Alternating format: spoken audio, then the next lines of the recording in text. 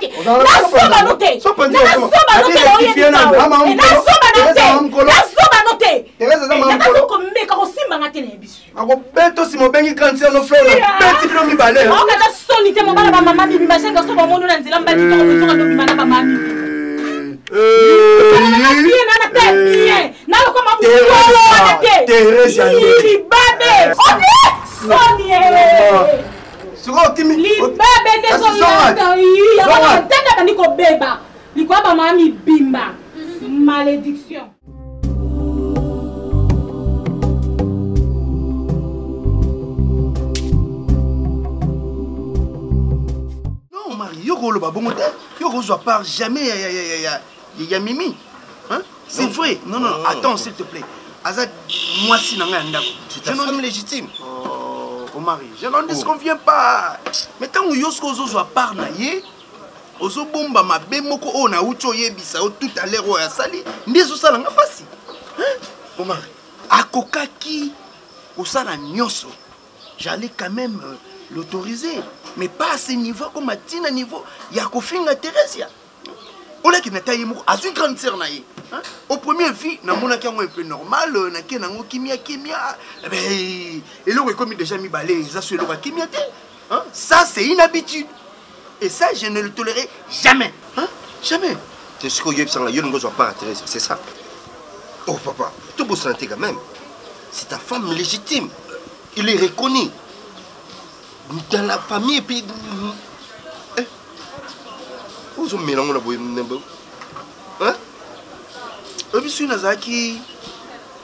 Hein?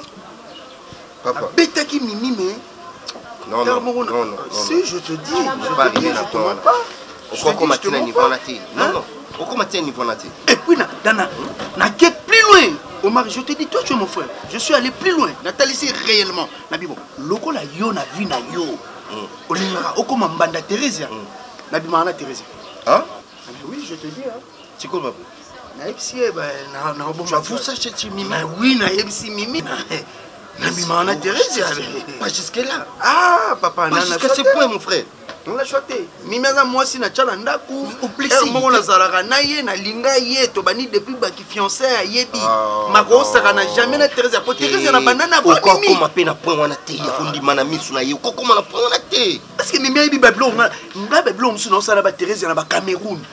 naosala ba therese ya bolingo na batogo mimi mimi ayebi yango te ah nga na mimi bolingo eza ya 4 mire mais soki kaka na c'est parce que tu profite na bamoment ya mosala okozoki ba mission de service bosala yango kuna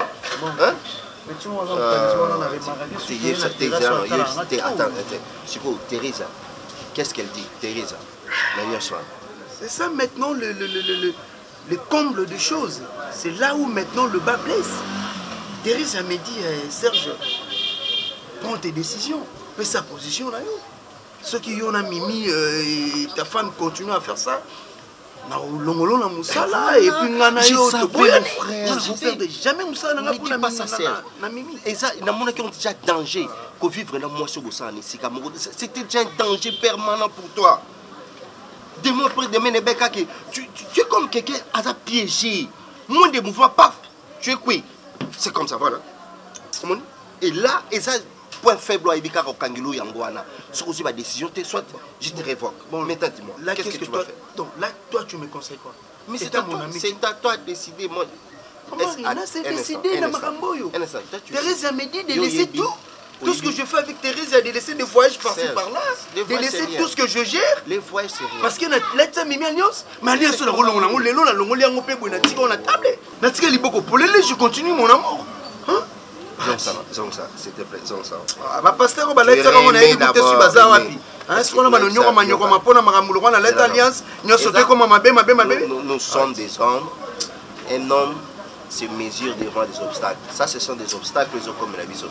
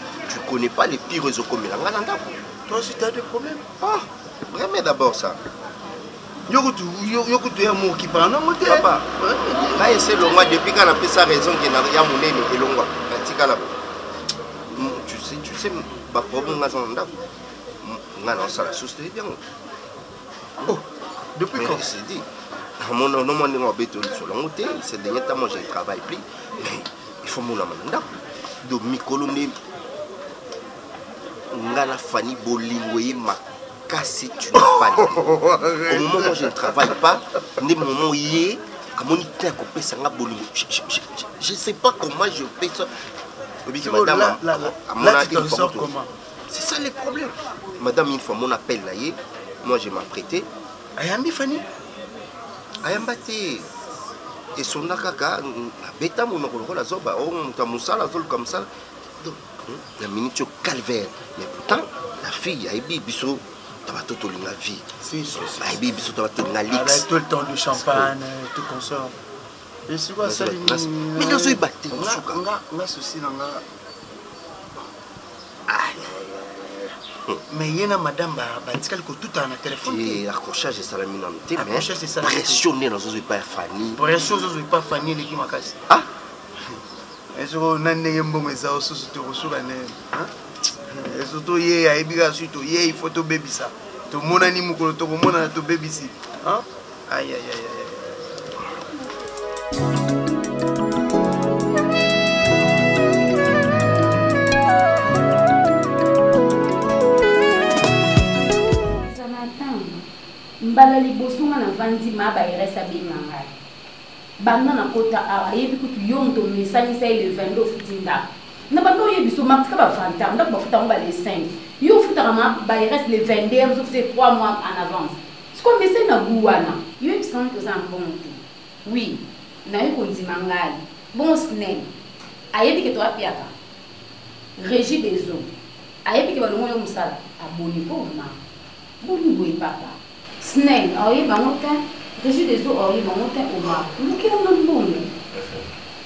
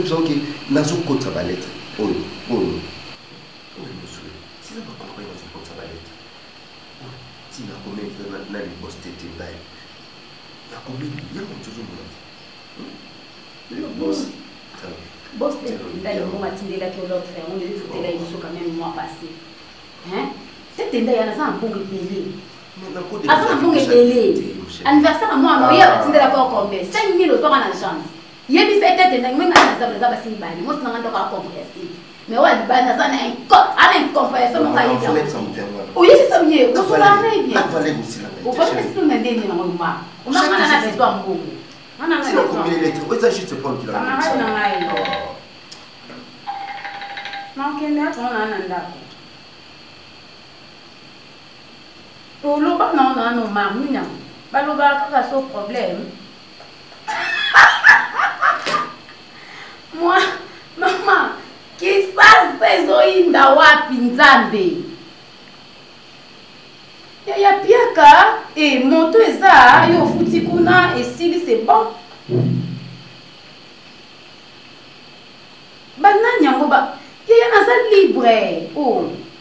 Ona azali na ndako ndako na ye avandaka mpe moko afuta yango mpo ani afanda mpe skiti mpe emona mokolo na ndako te yaya ona oh, naza na baoke okutu kaka lipapa nazoya bayozelanga kaka eh, nazozela lipapa yaya moto ekoma nango nzambe ayeba ekwani asala ye moto mpo na biso basali hmm, c'est bon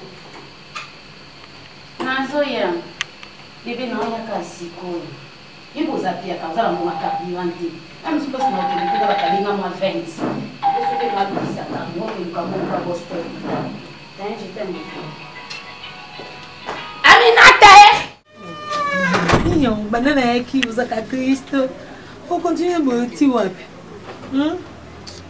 namona yo kala donc ntina oloba na nga boye ondiri ozanga mposa oloba te ondiri osepa na présence na nga te ah, oui koma kooloba boye parce que obombela nga adresse te obombela mpe kobala ah, est ce que nga na banda omonona yebisanga nga namona ko te naza na banouvelle na yo te ti kutu oyaki ozoyebisa nga ke bapesi adresse na nga nazokamwa yokenda na wa nga na nga babi camarade ya bamari na baselibataire eza te yango nde naomona mais yango nde empeshe biso tomonana te camarade nanga ata na mariage nango ozalaki na yo te en fait nga mba nazalaki ata na nouvelle na yo moko te naa na adresse na yo te naza eloko te donc na ndoyeba te na omonelo wana omoni quand même nga namoni esika moko ye komonela yo nga na luki yo nasali quand même effort oyo osali te Miss, attitude na nga oyo ezo signifie makambo ebele yo oza camarade na nga bomwana tobandisi na olelo te hmm.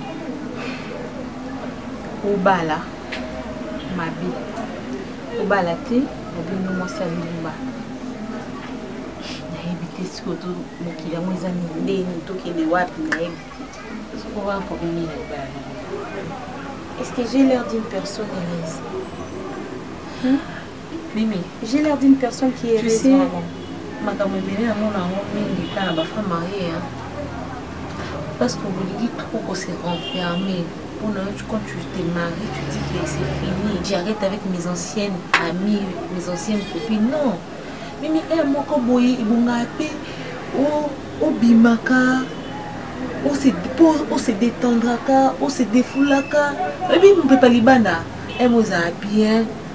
po un mot tellement paysage un mot vanda ko un mot ko boulot moi ne peux là je veux dire olo vanda kana na ko boulot un mususu mobali na sali problème abima ye banda tongo ti butu aza te osennuyaka ozalaka soucieuse e moko boye tokobima na biso tokenda biso quelque part tovandi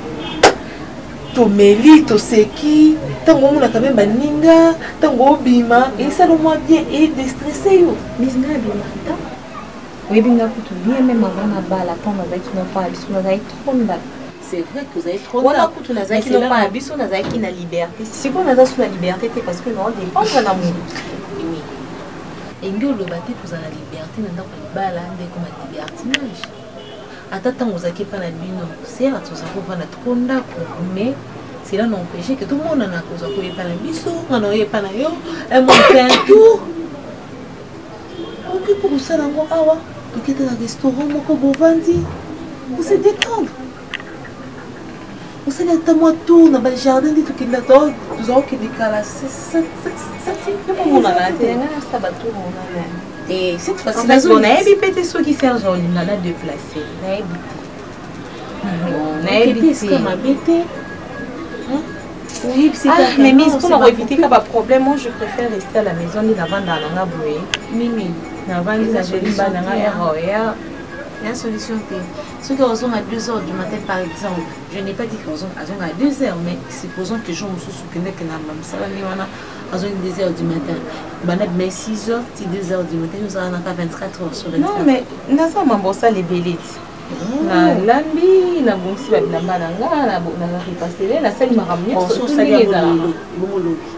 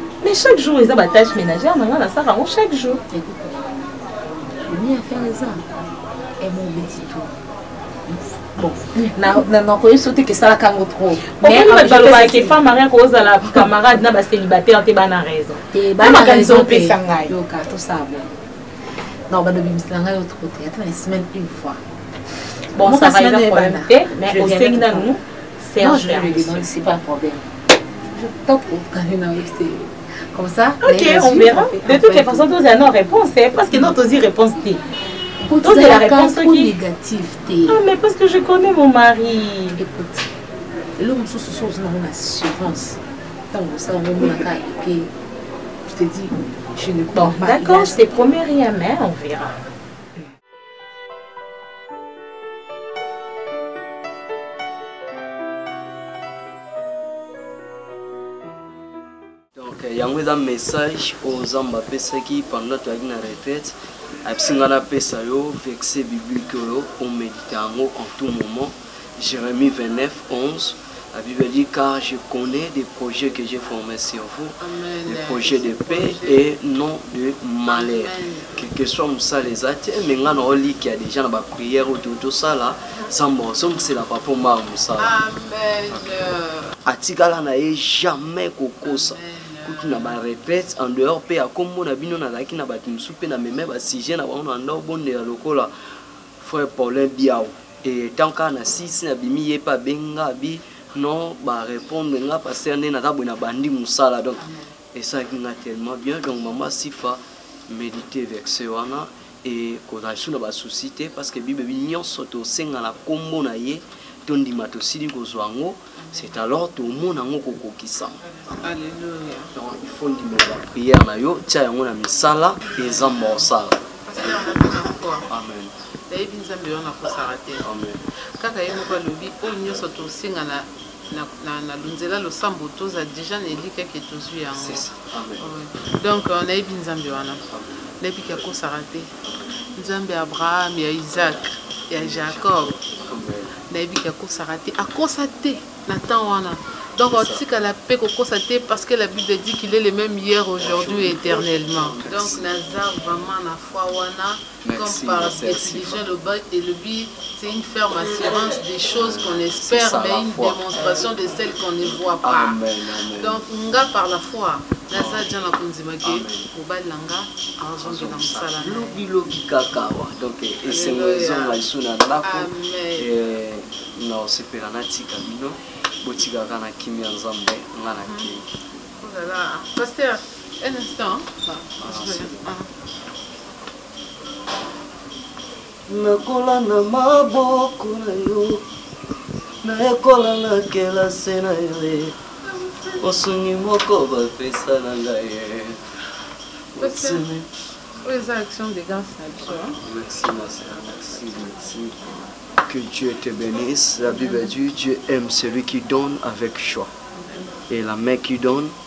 c'est la main qui reçoit nayebi ke osali eloko eza art ya ondima baprière to tosala retraite to tosala tika nzambe alola le dieu d'abraham isaac israël afongola baporte bisika ekangamaki parce que malachi chapitre 3 18 bible ebi tomona bokeseni entre bajuste na baméchant entre baoyo basalela nzambe na baoyo basalelaka ete tika nzambe apambola ndako oyo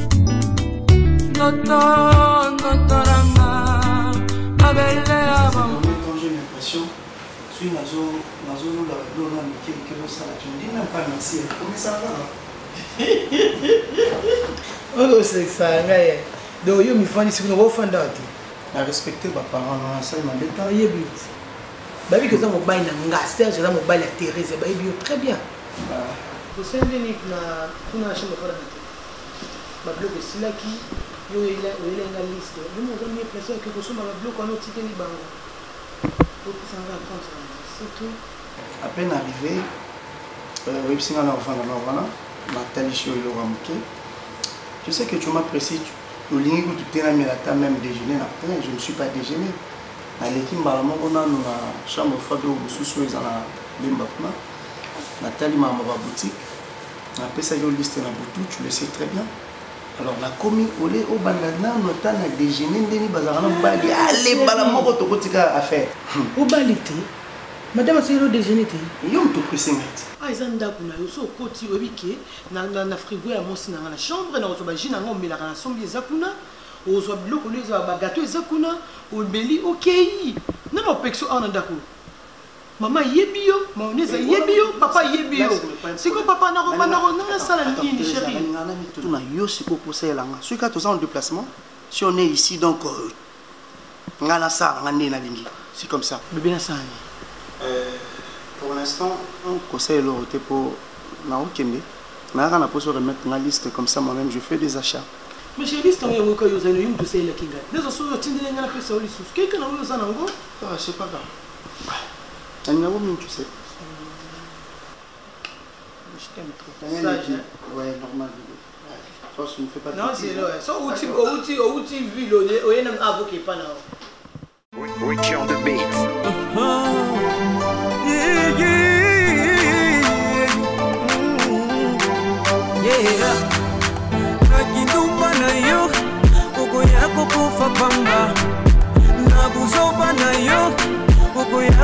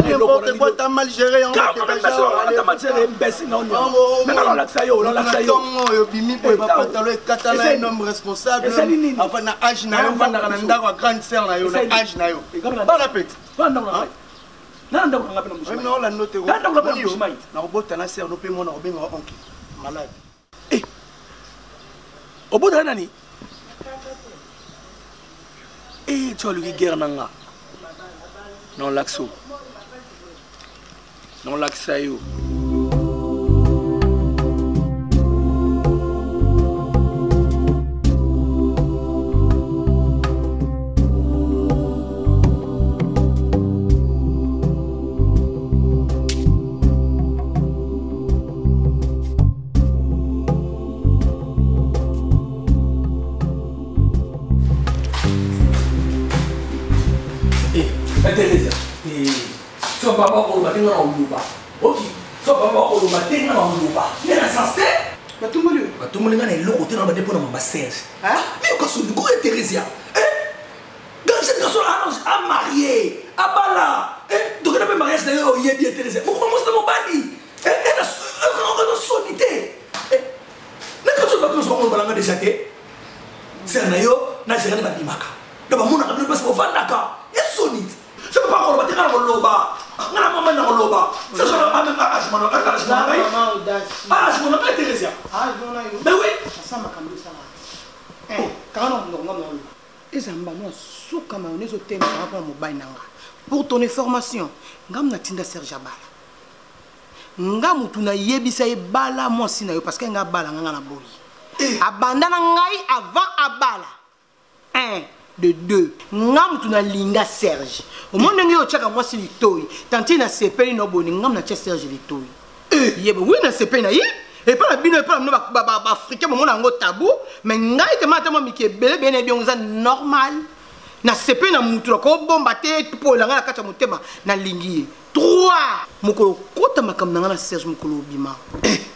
nayebisi yo verité obomba solo nayebisi yo ya solo yo ya ndeko na nga serge ya mobali na nga bino mibale bosala mosala moko te to baluba te ye theresia eh. aza momo ate na tuni aza leki na nga inceste oh. nazwi mwana tata mosi na biso aza moins age ke esalini na bolingo apor nini ezali mpo singa bible ekomi ke ndenge eza wana mokolo kobana na mwana moke te bokolingaka te soki ngai nalingaki Ne peto Serge aza kaka musato elia kota awa epa na nga. Kasa mwasi na ndako tika ye tranquille te. Ana mwasi te kaka permettre abala sa etiquette. Omoni mwasi na ndako aza etiquette. Eh ozo mona ozo talola le goût des aventures. Eh ouais. Yeba ko omoni ko lingo omona ngo apepele. Aventure wana eza na elengi na ngo yango wana eza banga suka. Et puis oza ni tasia. Yo ba toke na ko fufu na ndako ti.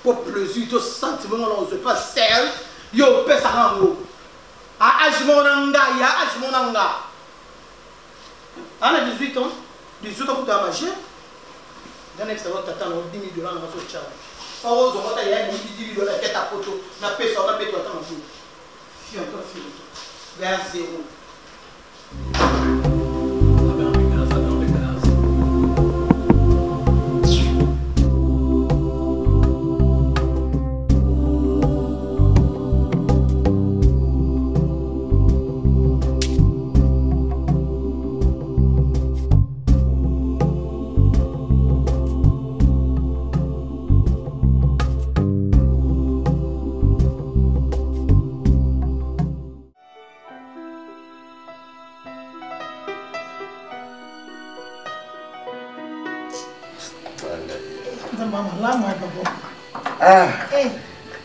Eh, tolukela mosala misala mongana na mwa mwaso tomati na niveau okomisa kuti en fait dans la commune à réception dans une note nasimbi na bandi otanga nataliki ngai nalongwe chomere nazongi lisusu ta mosala e donc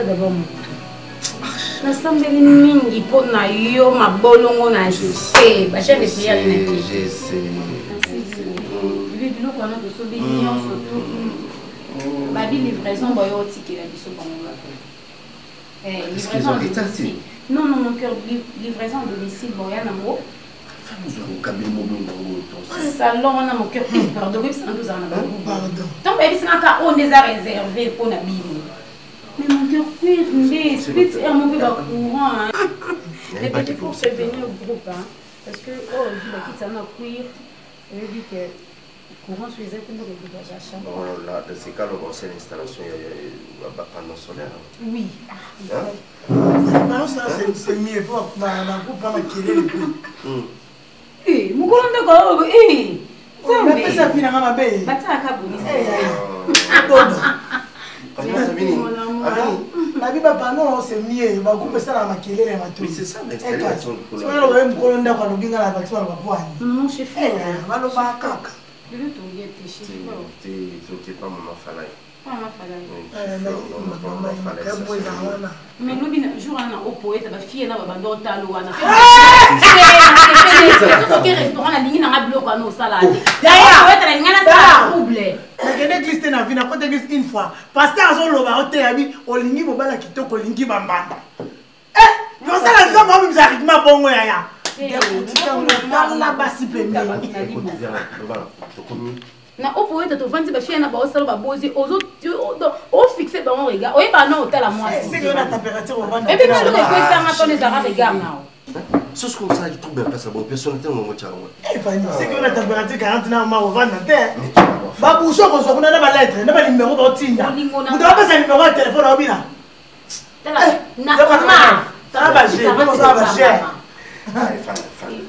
ozo mobali na serie ntongo mama vanda nayo moto bete bango na zero lala pongi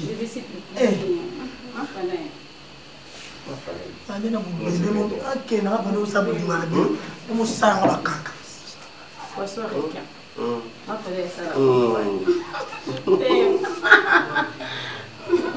Merci pour tout. Merci vraiment.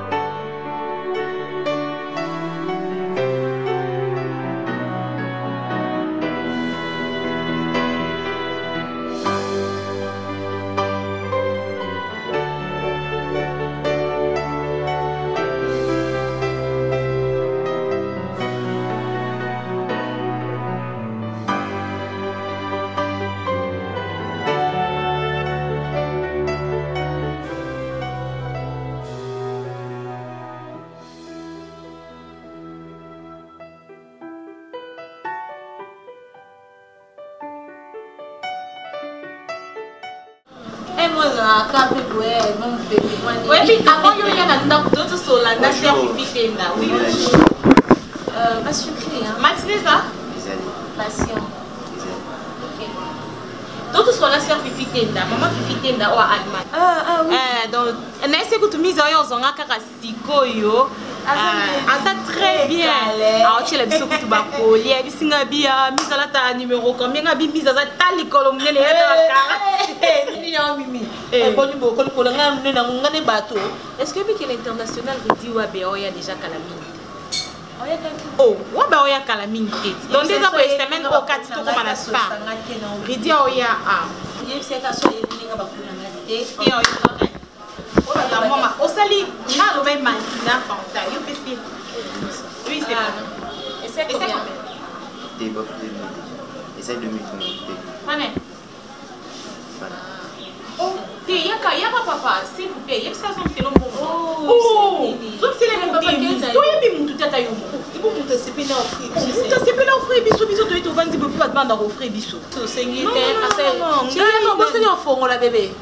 Eh. nafongola tosali nini mpo kabela biso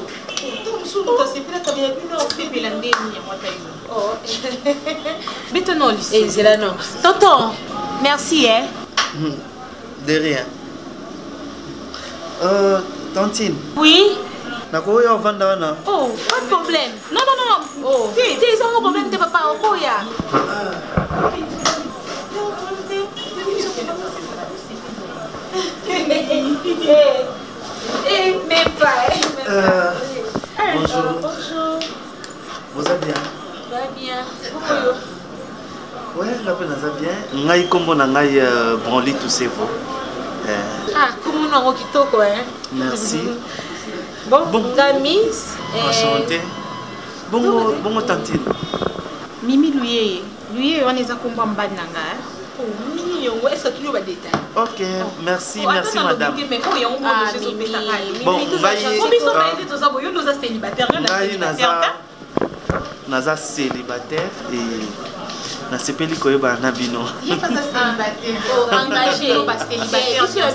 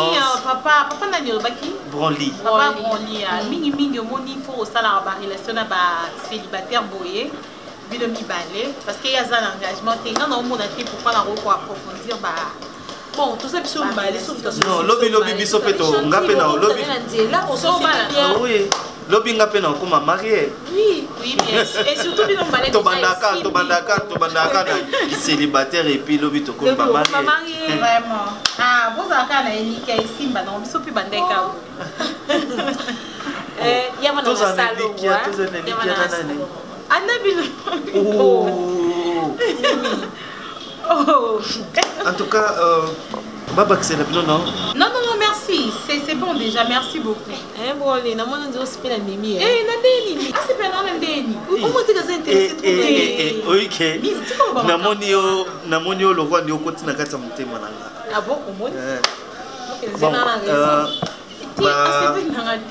babambaka libanga na mango etela oyo mobeso il faut luke na obasi azembi eh, mais désolé hein, papa désolé parce que libanga etelana basi babuka ye déjà pa moto mosusu manga ye eh, plutôt manga oyo etelana deya babuka ye pa moto mosusu donc mais manga mpe soki oza kitoko na maboko ya moto mosusu mpo oyo osenga na yango ezalaka mpe problème te en tout cas nasepeli nasepeli koyeba na bino euh, nayebi que nzambe akosunga tokomona c'est la première fois mais peut-être eh, eza dernière fois te te naye eza la dernière fois te mais nanga nde eza dernière fois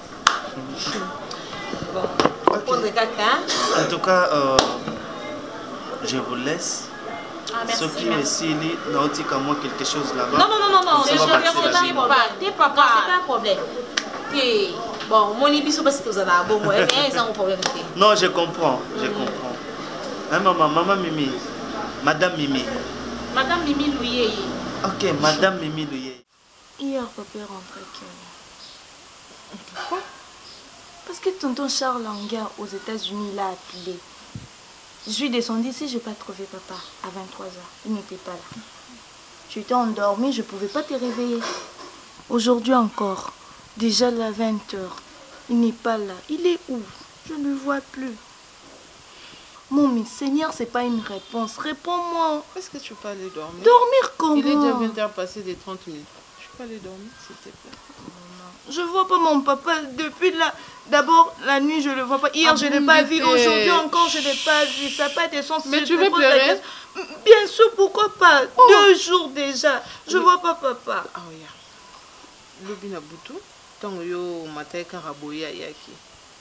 Donc yo lalaki après ya ye omona te. Alors na tongo kasi oui, maman ne mata. Oui na tongo abimi ma ato abimi tongo makasi. Oyebi ke oh. papa zo luka musala yoka. Maman il n'a jamais yoka. fait ça. Yo yebi réalité wana te. Il n'a jamais fait ça parce qu'il travaillait.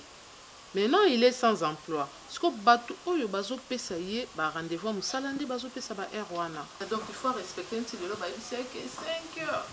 Moni abimi tongo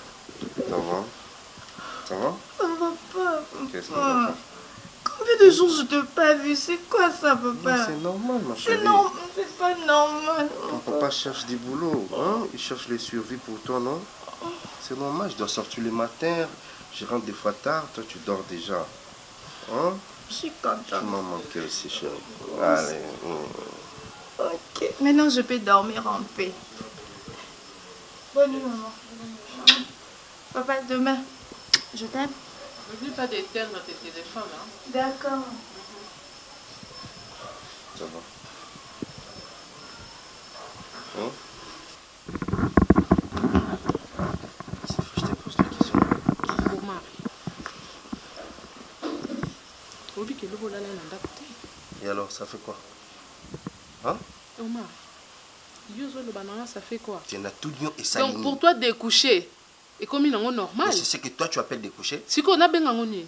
Quand quelqu'un sort, il n'est pas rentré, toi tu appelles ça découcher? Sikoyo quand quelqu'un sort, il n'est pas rentré, ah. so bazo benga quelqu'un wana azo yamba téléphone eh, te, eh, eh, oh. azo rejeter ba appel, yango siko zo mona bongo na nina loba makasi te po mwana yoka. Parce que azo tuna tuna on a ebisi que oyaki déjà olala. Il faut expliquer que son père est en train de chercher du boulot. Omar. Era ozo musala eyebani te. Si on te fait attendre quelque tu, tu cries sur moi?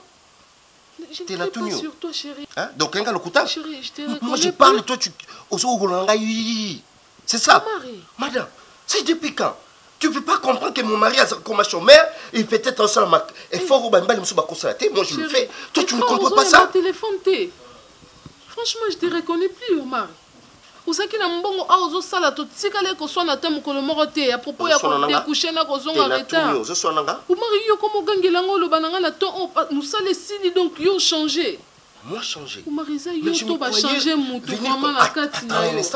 Je croyais que soki nazongi, tu pouvais me, tu, même me applaudir pour moi.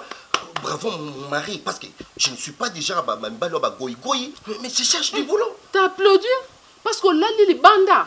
oye pe lelo na 20 heures pe maboko na makolo nga na applaudir yo po oye na carton bongo olobi Charine arrête d'abord sikoyo olingai nini lokola na osa suta na vandela quoi c'est ça nasila valeur olala libanda mbetu na yo moko naluka mosala eno nalala libanda mbetu no moko ekombololo koluka mosala yango faut rejete bapele na nga soki obengi nga naza na biro ya motu na koyamba pele na yo te qu'est ce que je dois faire Naza sifa, naza mwasi na yo. Je suis au mari, je suis ton homme.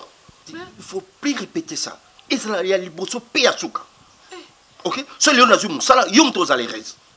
Alors quand je suis chômeur, nazui boluka musala te, je serai ridicule moi. Je dois, dois, dois faire des efforts, il y a qui m'ont emballé, dans la souci, wana, il y a yo, et puis il y a notre fille. Et alors, ça fait quoi Arrête-moi,